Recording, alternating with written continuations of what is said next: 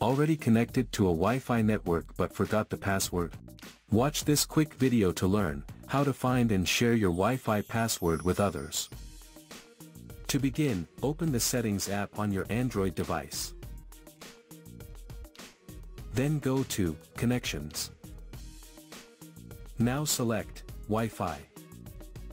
You will see a list of all the Wi-Fi networks you've connected to. Tap the settings gear icon next to the network whose password you want to view. You will see an eye icon next to the password. Tap on it to reveal the password.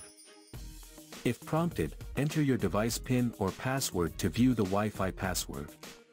You will now see the password, and can share it as needed. So in this way, you can view saved Wi-Fi passwords on your Android device.